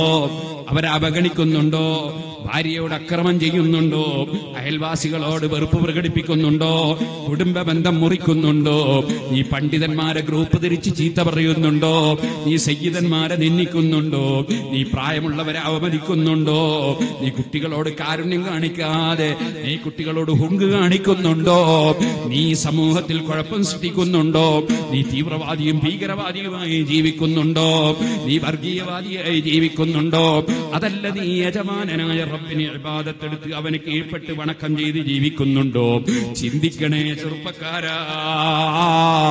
പടച്ചവൻ സൃഷ്ടിച്ചത് അള്ളാഹുവിനാരാധിക്കാനാണ് പിന്നെയോ തആല അവർക്ക് ഭക്ഷണം കൊടുക്കുന്നത് അള്ളാഹുവിനെ അവരറിയാനാണ്. അവൻ ഭക്ഷണം തന്നില്ലെങ്കിൽ ഞാൻ പട്ടിണിയല്ലേ? എനിക്ക് പണമുണ്ടായിരുന്നാലും അവൻ എന്റെ വയറ്റിനൊരു ക്യാൻസർ തന്നാൽ എന്റെ തൊണ്ടക്കൊരു ക്യാൻസർ തന്നാൽ എന്റെ ഭക്ഷണം മുടങ്ങിയില്ലേ? പണമുള്ളത് കൊണ്ട് ഭക്ഷണം കഴിക്കാൻ കഴിയോ? അള്ളാഹു അത്തരത്തിലുള്ള സർവ രോഗങ്ങളിൽ നിന്നും നീ കാക്കണേ അല്ലാ സുഹൃത്തുക്കളെ അവന്റെ ഭക്ഷണവും കഴിച്ച് കിടന്നുറങ്ങിയിട്ട് സുബി നിസ്കരിക്കാതിരിക്കുകയോ അവന്റെ ഭക്ഷണവും കഴിച്ച് ഇവിടെ ജീവിച്ചിട്ട് പിന്നെയും അവൻ കാണെ തന്നെ ഹറാമ് പ്രവർത്തിക്കുകയോ നീ അന്യ പെണ്ണിനെ ടെലിഫോൺ ചെയ്യുകയോ നീ അന്യ സ്ത്രീയെ വിളിച്ച് ശല്യം ചെയ്യുകയോ നിന്റെ ഭാര്യയെ നീ അവിടെ കിടത്തിയിട്ട് അന്യ പെണ്ണിനെ ഫോൺ ചെയ്യുകയോ അന്യ പെണ്ണിനെ വിളിക്കുകയോ നീ അള്ളാഹുവിന്റെ ഭക്ഷണവും കഴിച്ച് അവന്റെ ഭൂമിയിൽ നിന്ന് തോന്നിവാസം ചെയ്യുകയോ ആലോചിക്കണേ മനുഷ്യ. ഓ സ്ത്രീകളെ സ്വന്തം ഭർത്താവ് വാങ്ങിത്തന്ന ഭക്ഷണവും കഴിച്ചിട്ട് അള്ളാഹുവിന്റെ ഭക്ഷണവും കഴിച്ചിട്ട് ഭർത്താവ് തന്ന വീട്ടിലിരുന്നിട്ട് അന്യപുരുഷനെ വീട്ടിലേക്ക് ക്ഷണിക്കുകയോ? ചിന്തിക്കണേ ഉമ്മമാരെ റബ്ബിത് കാണുന്നില്ലേ? അവന്റെ ഭക്ഷണം കഴിക്കുന്നവരല്ലേ? മൂന്നാമത്തെ ചോദ്യം അവരെ മരിപ്പിക്കുന്നത് എന്തിനാണെന്നല്ലേ? അവരെ മരിപ്പിക്കുന്നത് അവന്റെ ഏകത്വവും അവന്റെ ദൈവീകതയും അവരറിയാനും അബാഹുവിന്റെ അധികാരവും അബാഹുവിന്റെ മഹത്വവും അവരറിയാനാണ്. എത്ര വലിയ കൊമ്പനാണെങ്കിലും ശരി ഇവിടെ മരിച്ചു പോകുമ്പോ തടുക്കാൻ ഒരു രാജാവിനും കഴിയൂല ഒരു പണക്കാരനും കഴിയൂല. റബ്ബിന്റെ അധികാരം ബോധ്യപ്പെടുത്താനാണ് മരണം. പിന്നെയോ അവരെ ജീവിപ്പിക്കുന്നതോ? അവരെ ജീവിപ്പിക്കുന്നത് അവന്റെ കഴിവ് അവരെ ബോധ്യപ്പെടുത്താനാണ്. അവന്റെ അറിവ് ബോധ്യപ്പെടുത്താനാണ്. നിങ്ങളെ വീണ്ടും ജീവിപ്പിക്കൽ അവനൊരു പ്രശ്നമല്ല എന്നതും അവൻ ഈ പടച്ച സ്വർഗവും നരകവും ഒക്കെ കാണിച്ച് അവന്റെ കഴിവിനെ സംബന്ധിച്ച് നിങ്ങളെ ബോധ്യപ്പെടുത്താനാണ് ഈ നാല് മറുപടി കേട്ടപ്പോ ബഹ്റാം ചോദിക്കുന്നു ഇസ്ലാമിലേക്ക് വരാൻ എന്താ വേണ്ടത്?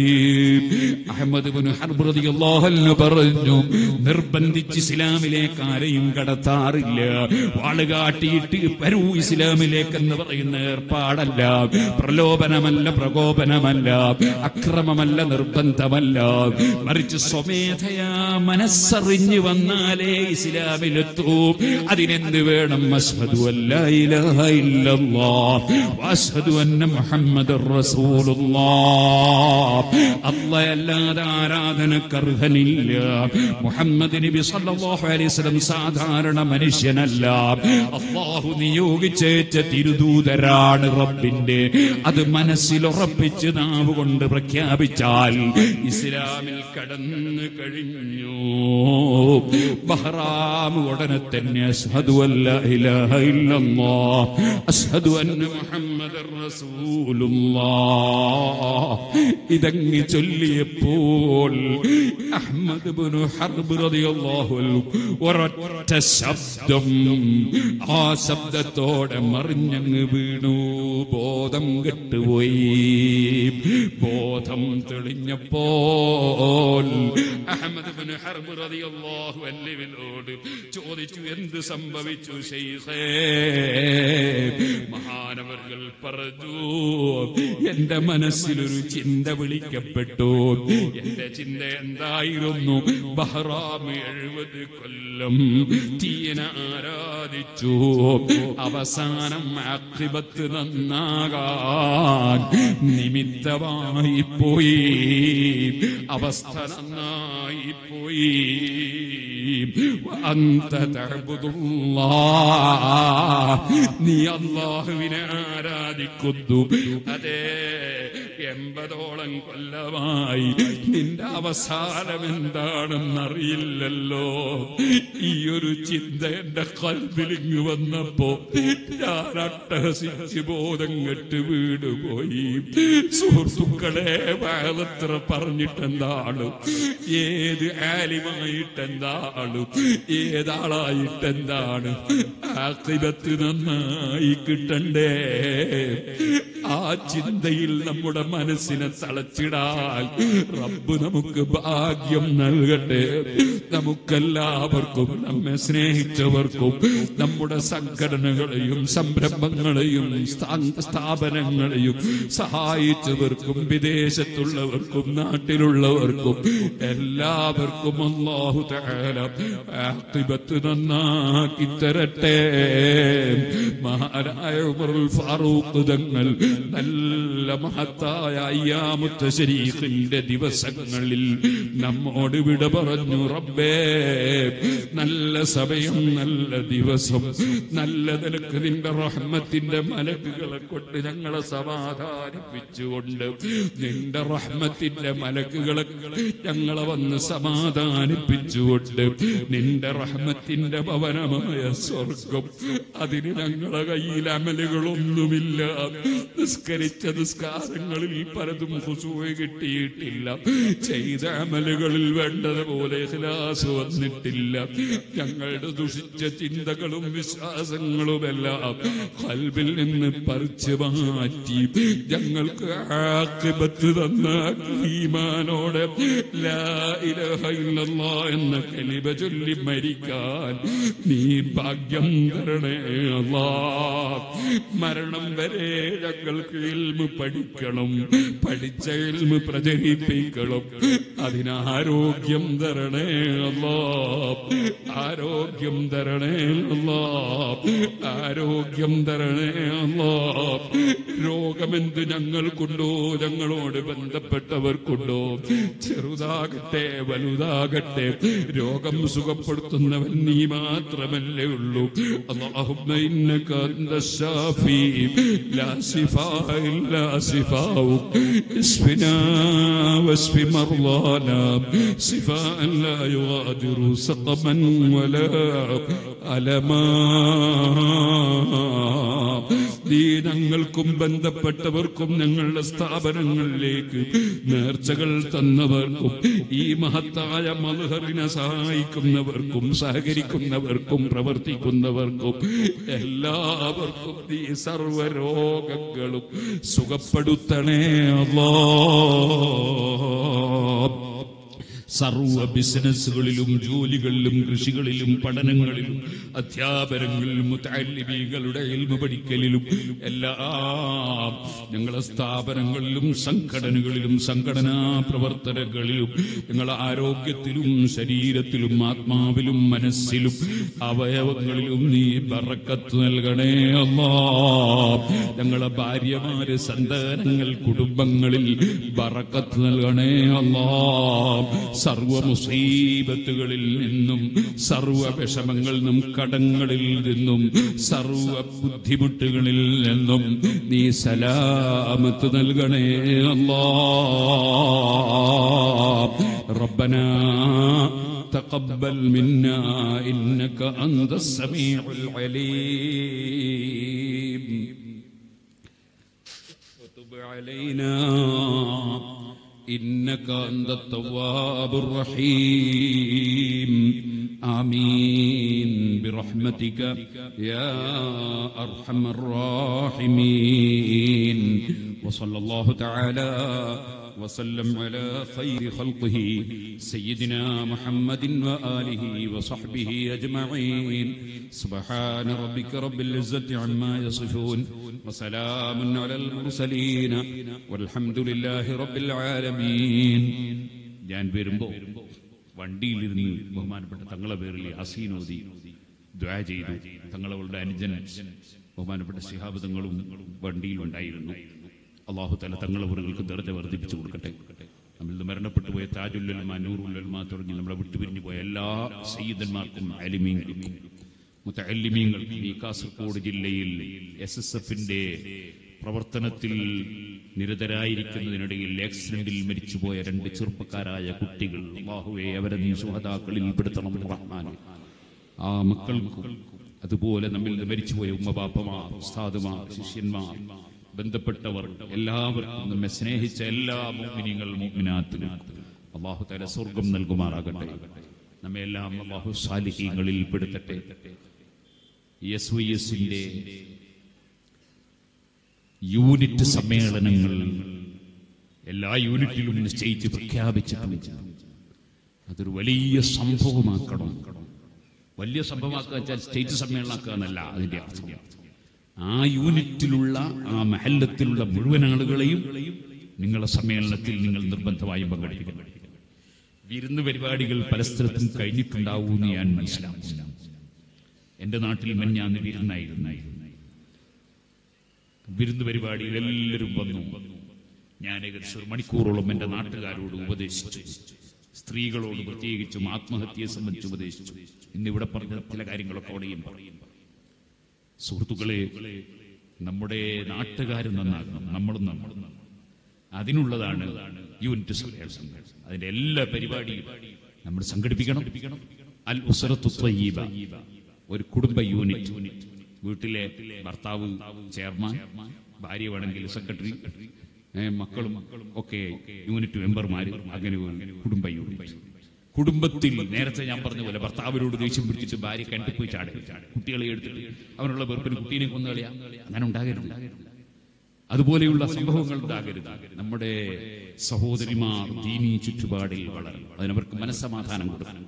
അതിന് അവരുമായി മാസത്തിൽ ഒരു ദിവസം നമ്മൾ കൂടിയിരിക്കാൻ എന്നിട്ട് മരിച്ചുപോയവരുടെ പേർക്ക് ഫാത്തിഹ വേർക്കാനൊക്കെ ഉള്ള ഒരു അവസരമാണ്. അല്ലുസ്രത്തു തയ്യബ നടപ്പാക്കണം. അതുപോലെയുള്ള ഒരുപാട് പരിപാടികളുണ്ട് എസ് ഒ എസ് പറഞ്ഞിട്ടുള്ള. മുസ്ലിം ജമാഅത്ത് നിർദ്ദേശിക്കുന്ന അതുപോലെ എസ് ഒ എസ് നിർദ്ദേശിക്കുന്ന എസ് എസ് നിർദ്ദേശിക്കുന്ന പരിപാടികളൊക്കെ അതെല്ലാം കൃത്യമായി നമ്മൾ നടത്തണം എന്നുകൂടി ഈ സമയത്ത് ഉണർത്തി. ഞാൻ എന്റെ വാക്കുകൾ നിർത്തുന്നു. നിങ്ങളൊക്കെ ദ്വാര ചെയ്യണം. ചെറിയൊരു അസുഖം ഉണ്ട്. അള്ളാഹു സുഖപ്പെടുത്തി തരുമാറാകട്ടെ. അതിനുവേണ്ടി നിങ്ങളെല്ലാം പ്രത്യേകം പ്രാർത്ഥിക്കണം എന്ന് വസൂയത്ത് ചെയ്ത്. അതുകൊണ്ട് ഞാൻ തീരുന്നത് വരെ ഇരുന്നില്ലെങ്കിൽ തെറ്റിദ്ധരിക്കരുത് എന്ന് ഓർമ്മപ്പെടുത്തി ദ്വാവസൂയത്തോടെ നിർത്തുന്നു. അസ്സലാമു അലൈക്കും വറഹ്മത്തുള്ളാഹി വബറകാതുഹു.